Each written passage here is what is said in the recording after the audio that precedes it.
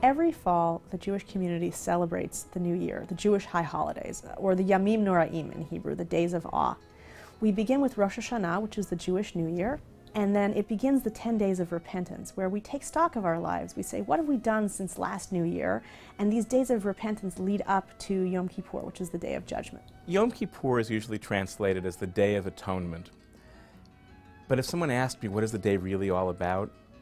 It's about the opportunity to be born again and to experience unconditional love. It's, it's said that and by the rabbis in the Talmud that God has a book of life in front of God. Um, and on Rosh Hashanah, it's written what our fate is for the coming year, and on Yom Kippur, it's sealed. And during the 10 days of repentance, we have the ability through giving tzedakah, through giving charity, or through asking for forgiveness, tshuva, um, or through prayer to change what's written. There should be real work going on. There's nothing wrong with waking up every morning of those 10 days and looking in the mirror and saying, Am I really who I want to be? Where am I not? And what can I do to do better? And then you get to Yom Kippur and you really do put down everything else and begin with the words of Kol Nidre. All the vows I made during the year, they're over. They're done. They're behind me.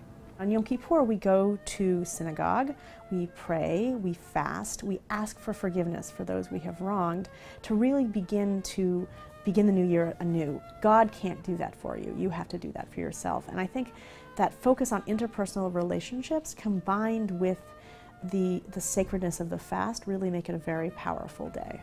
The fundamental assertion is you will be reborn no matter what you've done.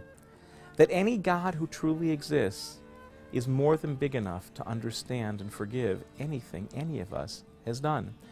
And then the hope is if you can love someone unconditionally, let them really be reborn, maybe, just maybe, they could turn to other human beings and treat them with a little bit of that love and a little bit of that willingness to let other people in our lives be reborn. And then uh, we end with the sounding of the shofar. It's a moment of marking that the fast is over and we've been forgiven. In my family, we all gather back at the house, and I think this is why actually Jews, even if they don't fast, go to break fasts. Because deep down, there's actually an intuition that the shared breaking of the fast, even if you haven't fasted, is the holiest moment of the day. You gather with people you love, and in our house, that means we pour either vodka from the freezer or single malt whiskey from the cabinet, and everyone, even the non drinkers, gets a glass, and everyone together raises that glass and says, L'chaim, to life. Because that's really what it's about. It's the sense of relief that we've been forgiven for another year. We know it's going to happen. We know that at the end of the day, we're going to get forgiven. There's no question about that. But you know, there's something to be said about feeling like your life is in balance for 25 hours. It's as if you've had 10 days leading to one day, leading to that moment when you get together with people you love and you pledge that the next year is for life.